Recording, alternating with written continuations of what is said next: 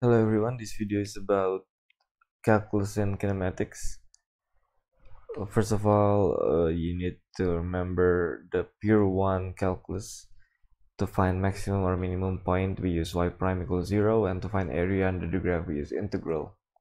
So, for maximum point here, f prime when the x value is c is 0 and the area under the graph is the integral from a to b of f of x dx it's negative because we will get a negative number from this area below the x-axis and remember how to differentiate and integrate. We use um, the pure one calculus bring the power down the new power is minus 1 and we start with the division line the new power is s plus n plus 1 divided by the new power n plus 1 limitations on the graphical method and SUVAT formulas. So gradients can only be calculated from line graphs. So if you have line graphs, you can find the gradient.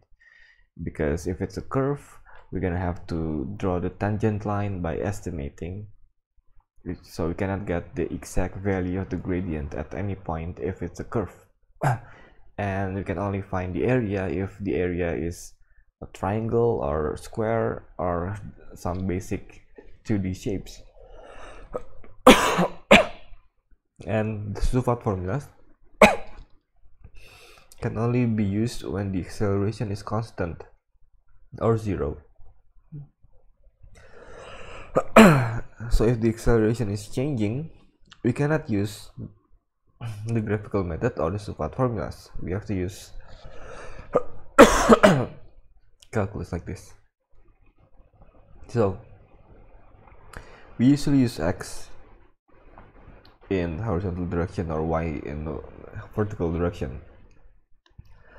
The velocity the v or the v of t v as a function of t is the derivative of the displacement function. So it's dx dt or x prime or x dot.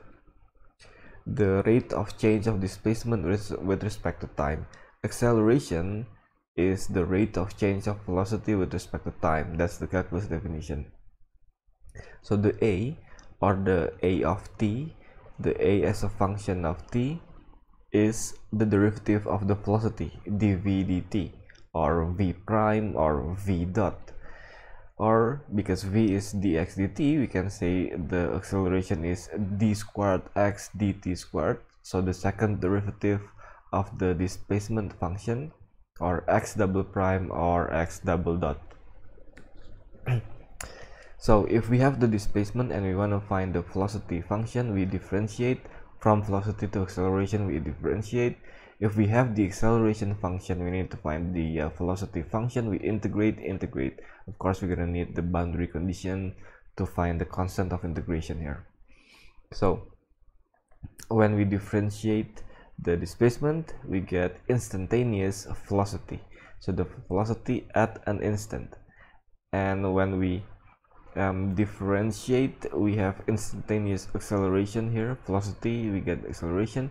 And when we integrate the velocity we get the area under the graph which is the displacement or the change in displacement. And from AT graph if we integrate we get the area under the graph the change in velocity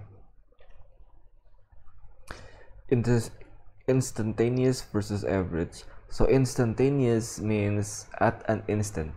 Instantaneous velocity or acceleration means we just plug in the time into the um, velocity or acceleration function. But to find the average velocity we need to find the change in displacement divided by the change in time. To find the average acceleration we need to find the change in velocity divided by the change in time so for the instantaneous velocity when the time is a v of a is just plug in a we get the value here b. So if you're finding the average velocity so from the average velocity you can find the um, I mean from the velocity function you have to find the displacement function by integrating and plugging in the boundary condition and finding the constant of integration and then you find the displacement when the time is this time is that uh, and we can find the average by subtracting or finding the displacement uh, final displacement minus initial displacement final time minus initial time we get the um, average velocity. For example instantaneous velocity when time equals one we have the displacement time this displacement function. So we have to differentiate to get the velocity function. Plug in one we get the velocity exactly when the time is one. But for average velocity we have to find the displacement when the time is one and when time is two and then we subtract. So the average velocity is delta x over delta t delta x means x2 minus x1 delta t t2 minus t1 t1 is 1 t2 is 2 x1 is you plug in 1 here you get 14 x2 you plug in 2 you get 64 subtract you get divide you get this. So that's the average velocity versus instantaneous velocity. So uh, let's say we have now the velocity graph I mean velocity function we need to find the average velocity.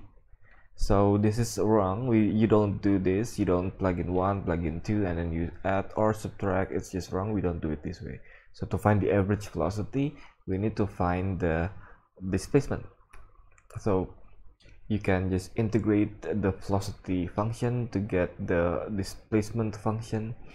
Still with the constant of integration but it will cancel out so no worries here. Just use plus c plus c it will cancel out when we find the v bar the average velocity. Alternatively we can just use integration. I mean definite integration. Plug in one plug in two. Of course this explains uh, why we don't need the constant of integration here. It will cancel out and you'll get the same um, value. So for average we need to find the change in displacement for instantaneous simply plug in. That's it. I'll see you again next time